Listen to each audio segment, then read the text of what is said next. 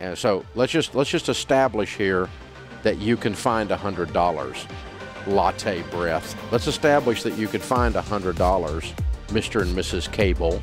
You spend hundred dollars on things you don't even realize you did it. You impulse more than hundred dollars at Target every month, and you don't retire with a million dollars. That's no one's fault but yours. It's your fault. I'll guarantee you this 95% of you listening to me right now do not do a unique written budget every month unique to that month. Almost no one does. Those that do, however, find all kinds of money that's being lost because your checking account is a freaking sieve. Money leaks out of it like you're sending it to Congress or something. And so let's just let's just establish here that you can find a hundred dollars. Latte breath. Let's establish that you could find a hundred dollars, Mr. and Mrs. Cable. You spend a hundred dollars on things you don't even realize you did it. You impulse more than a hundred dollars at Target every month.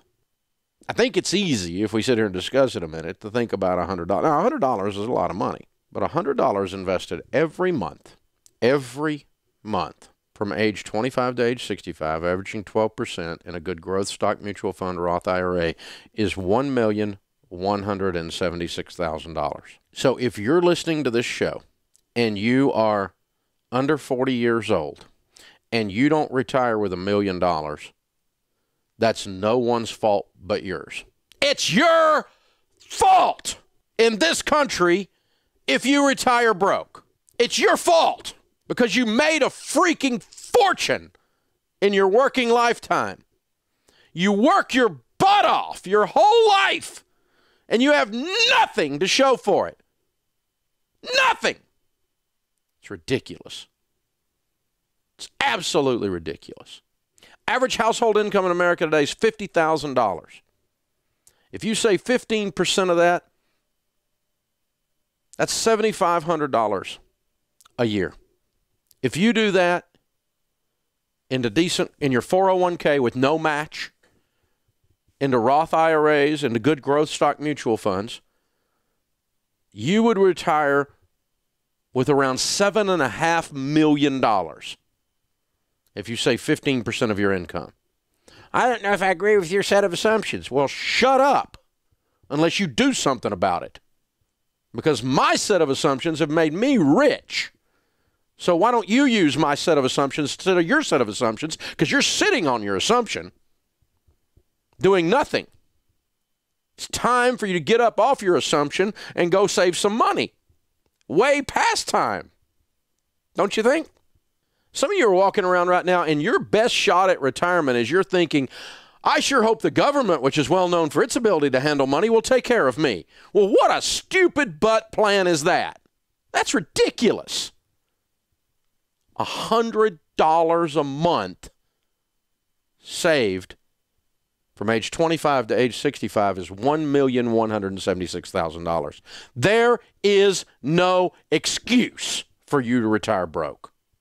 15% of the average household income in America saved from age 30 to age 70, age 25 to age 65. Average household income being 50,000, 15% of that being 7,500 is $7.5 million. If I'm half wrong, it's $3 million. And let's just let's just go with the assumptions here for a second, okay? Since we're talking about assumptions. I set you up in an average household income, and for 40 years you never got a raise using those numbers. Now, let me help you with this. If you start at average and you don't get a raise for 40 years, you are a loser. Losers in our country can retire millionaires. Isn't that bizarre? That's how dynamic this economy is. And sit down and do a budget and look in the mirror at your immature self and say no, so you can put a couple of hundred bucks away a month so you can retire with dignity instead of being a burden on society and on your children. You can't give to anybody because you're too freaking broke to help anybody else, and you've got all these great ideas about how other people need help. You want to find out who needs help? Get you a mirror. You need help. It's time to save money, people. Time to save money.